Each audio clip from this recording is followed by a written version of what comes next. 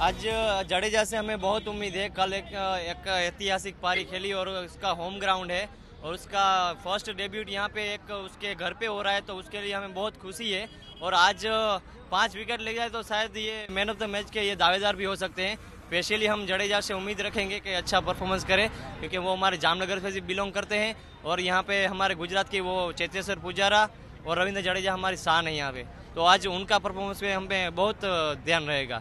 आज की मैच की हमें बहुत ही बढ़िया उम्मीद है। हमारे यहाँ के गुजरात के फ़ेमस बहुत ही बढ़िया स्टार रविंद्र साहब जडेजा है। उसने कल पूरा सेंचुरी किया और आज पाँच विकेट लेंगे तो हमको बहुत ही बढ़िया खुशी होगी। इससे बढ़िया खुशी और कुछ हो ही नहीं सकती है। आज लगता है तीसरा दिन बहुत होगा वेस्ट इंडीज के लिए क्योंकि जिस तरफ़ से बॉलिंग हो रही है इंडिया की वो बेहतरीन बॉलिंग हो रही है। और चौथा दिन लगता ही नहीं कि होगा वेस्ट इंडीज के लिए। और रविंद्र जाडेजा का होम ग्राउंड में बहुत ही बढ़िया प्रदर्शन किया है और उन्होंने सेंचुरी भी कल लगाई है। और आज लगता है कि फाइव विकेट ले लेंगे तो हमें बहुत अच्छा लगेगा क्योंकि हमारे गुजरात का खिलाड़ी है। और विराट कोहली की जो कप्तानशिप है, वो भी बढ़िया है। और उनमें वेस्ट इंडीज में लगता नहीं है क्योंकि खिलाड़ी अभी कोई, ज़्यादा कोई खेल पाएगा।